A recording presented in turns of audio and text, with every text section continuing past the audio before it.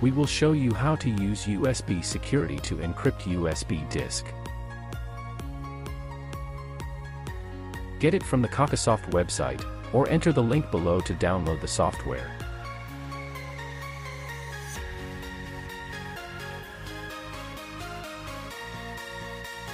These are the files in the USB disk.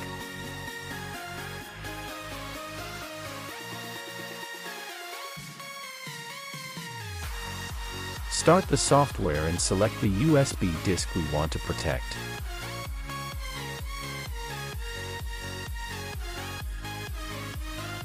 The software has been installed on the USB disk.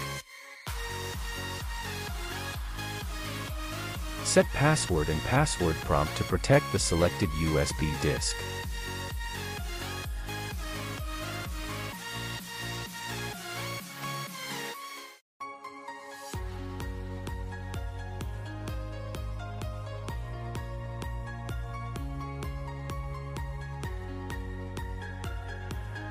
Now let's open the encrypted USB disk and take a look. You can see that the USB disk has been encrypted and all files have been hidden. Double-click to run USB security. Enter the password we set. If you want to access USB disk data, click Open in Virtual Drive.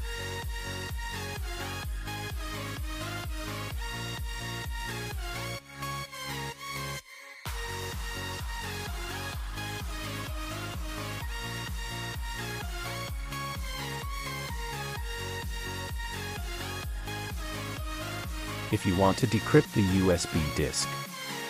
Click on Protect this drive.